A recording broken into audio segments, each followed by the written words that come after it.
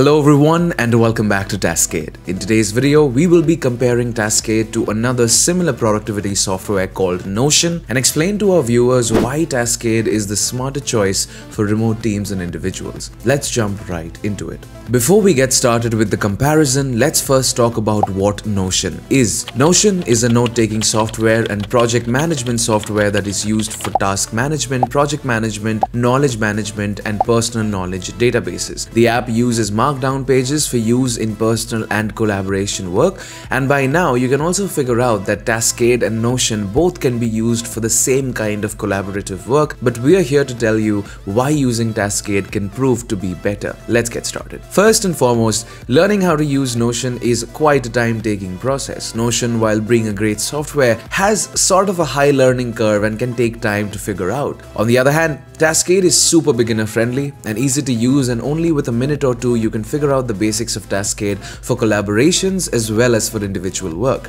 The next feature missing with Notion is syncing tasks with Google Calendar which has proven to be super useful for all collaborative users. In Taskade, you can sync any existing task or new task to your Google Calendar for seamless integration into your workflow. Notion also does not have a task structure and neither can you see all your tasks on one page. With Taskade, you can create as many projects and tasks as you want, but also view them together in the My Tasks tab with ease. It really saves a lot of time in day-to-day -day use. Taskade also takes communication among teams to the next level with our call, video call and screen sharing feature whereas Notion has nothing of the sort. And last but definitely not the least, Taskade offers more in the free plan where you can share your projects with many users even in the free plan whereas the maximum number of users that Notion allows in its free plan is a limit of 5. Well, there you go. We hope that we were able to explain that while Notion is a commendable software, Taskade does a lot of things better and is also easier to get into.